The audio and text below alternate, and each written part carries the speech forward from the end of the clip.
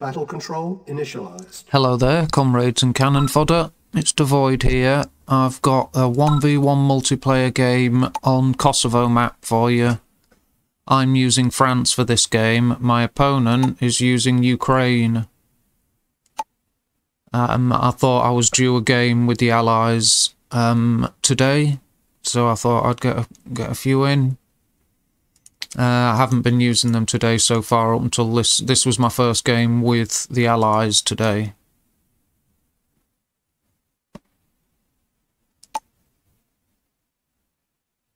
And it looks like we're both... yeah, my opponent's sending his rifles around.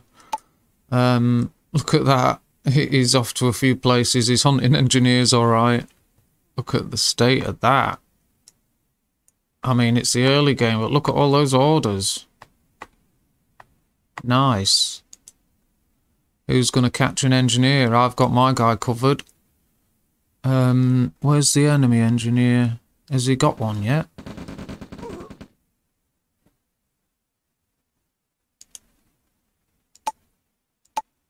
No, he hasn't trained an engineer yet.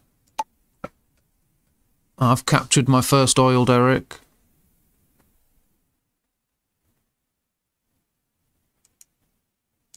He's training more rifles.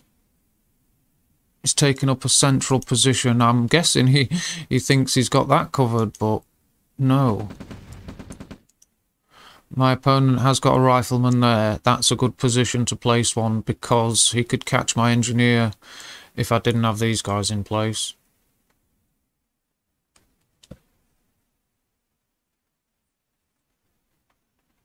And my opponent's even got a rifleman there in my in my secondary ore patch and at my expansion.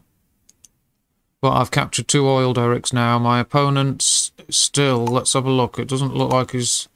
No, he's building his rocket troops now. He still hasn't got an engineer. So, there, I shot one guy with the barrels. That was nice. And I've got the second guy as well, by the looks of it. He started firing back too late. But, um, it looks like we've got a bit of an engagement here. And it's a nice group of infantry, that, so I've got to be careful. My engineer's turning back. He was heading straight for him.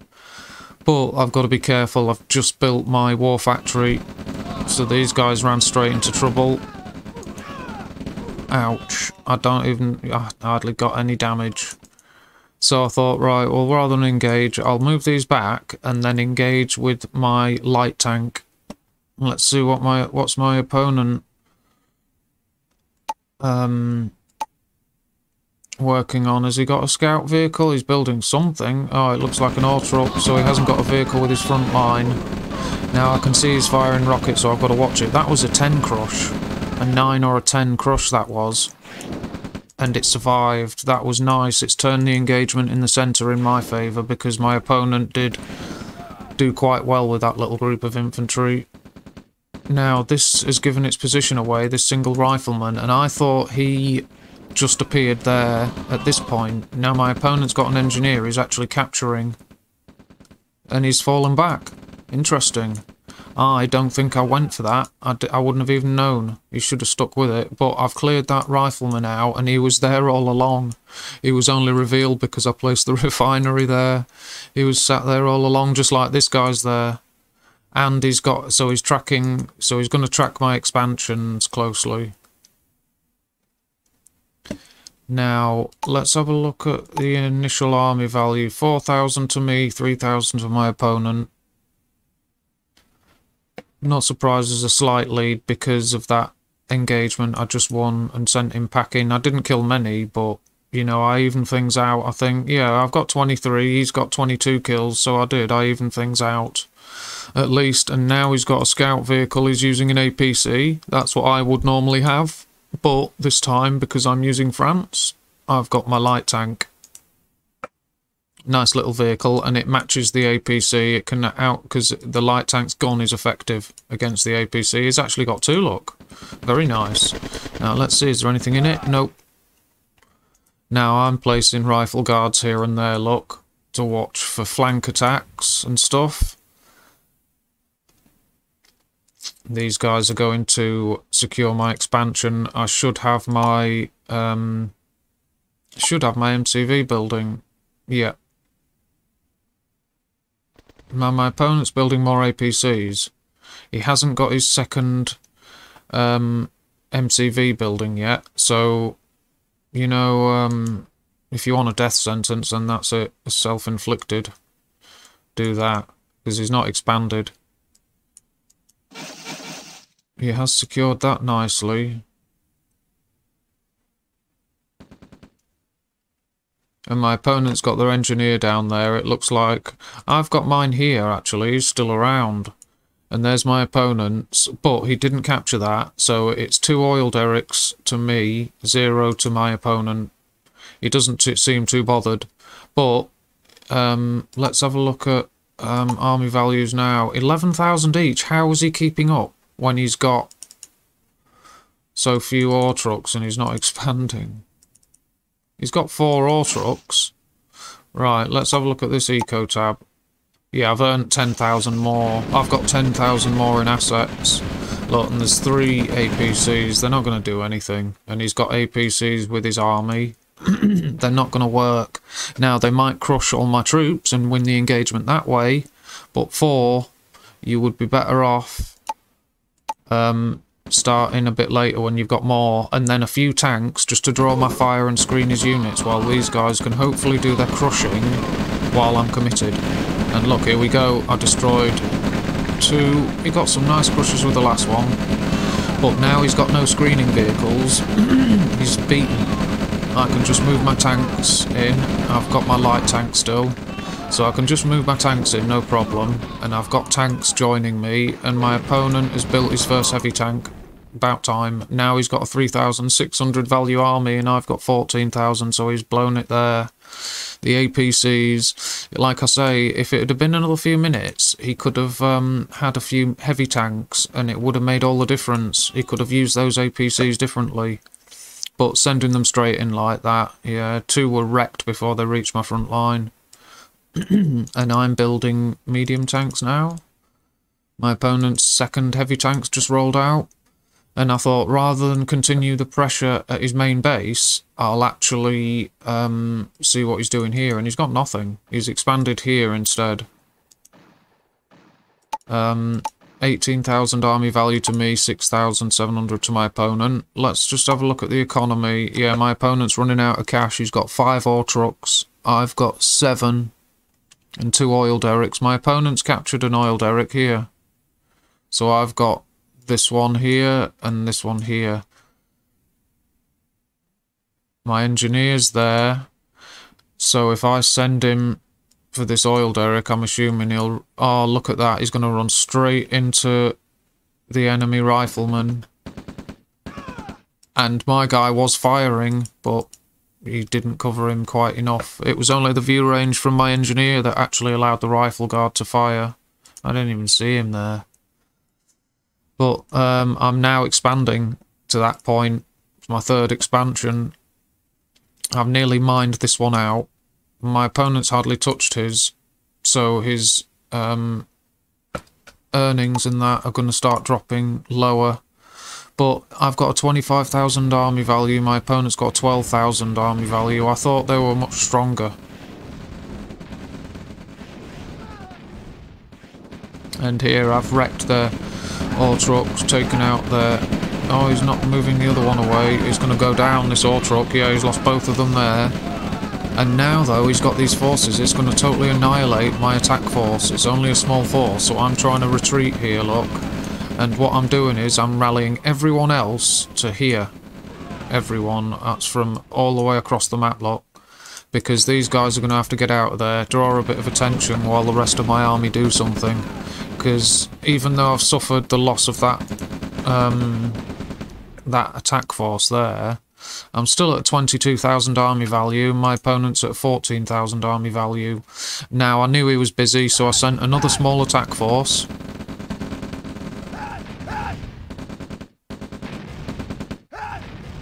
Taking damage from the flame tower. Shoddy. Uh, and he's moving out with his MCV. It is about time. Um, but he's saving it, I'm assuming. And now I'm going for the... I've had to sacrifice those guys, and I'm going for the service depot. I wonder how well I did.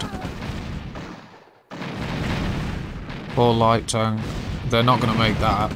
But then again, their shots are damaging it. Perfect. Yeah, I'm happy with that. I'm glad I left that one on the edge of the service depot because their own shots were damaging it. He's left his engineer there. I'm at a 21,000 army value. My opponent's at a 16,000 army value. 22 to 16 in thousands army value. And I've got my newest expansion set up. There's four ore trucks on that one. This is still mining bit by bit, but one of these will have to move on soon for efficient harvesting. And I sent a tank to scout for my MCV, make sure there's nothing waiting there for me.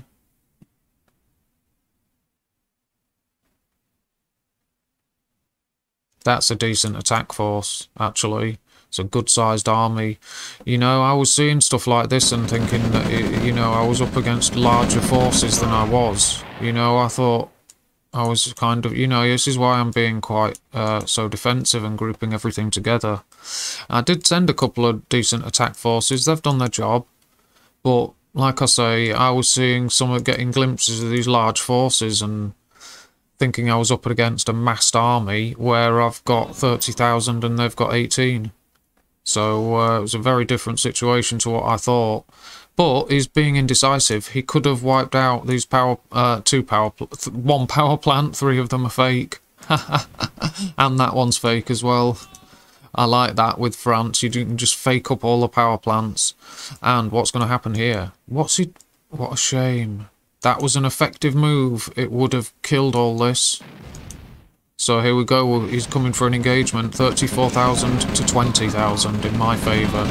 And I've got artillery on the scene now, and mechanics, so these wrecks are going to be mine. And the artillery is only one in the battle at the moment, but it's doing some lovely work, look.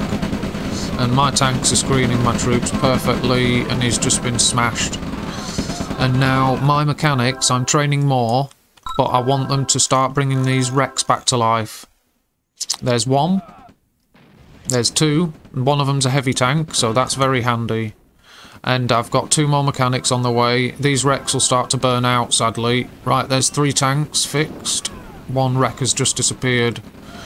I've got two engineers. Another wreck has just disappeared because they burn out over time. You have to hurry up and capture... Oh, no, look. I could have got that. Uh, that was a heavy tank, I think, as well, one of them. But there you go. Do I get the last one? Yeah, there's another. So that's a nice group of several, and this force here has just put tanks up front and stopped his last defence. And he's called it here. I've got artillery, uh, I've got spies, um, and I've overrun him. Now he has got um, this here, so if he can build a war factory, he can actually produce tanks and infantry and base defences. So uh, I've got my spies, and I'm still thinking um, of like I've got veteran vehicles and I've got two infiltrations. He had no money. No money at all. But I've got 11 grand, so yeah, I'm assuming none of it came from him. But there you go, I've overrun him. Uh, sent this small force this way, and I've still got uh, mechanics running in and trying to capture the wrecks because why you need to be efficient. There you go, there's an extra ore truck, and this mechanic can do a bit of repair work on it. And now these guys have discovered the enemy, so I had to stop and let, let the medic do a bit of healing while these guys start to mass and he's, uh, he's killed a full star veteran there. I shouldn't have wasted those guys. They've earned their rank and I shouldn't let them die meaningless for meaningless uh, reasons. But here we go, I've overrun them. No tanks up front because it's just it's over. And here we go, have I got? Yeah, I've got a heavy tank veteran, look. At least one I got. Now I've got a helicopter moving in. Three artillery pieces still. Um, and I'm still moving in mechanics.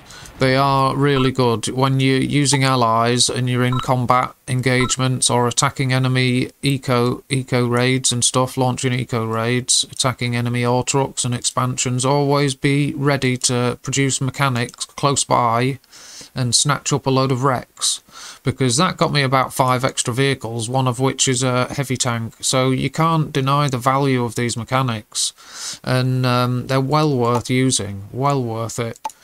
Um, and I uh, I did build a few thieves. Obviously, um, the uh, it was too late in the game for them to be effective but I did get start producing veteran tanks. Look you see there when the tanks roll out of your war factory if I get a spy in the enemy war factory which I did my tanks are built as veterans and it enables you with allies and the medium tanks that are quite weak compared to Soviet heavy tanks. It allows you to match them as the game goes on. It's a little bit of a bonus to their abilities. Now the Soviets can't uh, build their units at veteran level, so it enables allies to kind of match Soviet tank power a little bit.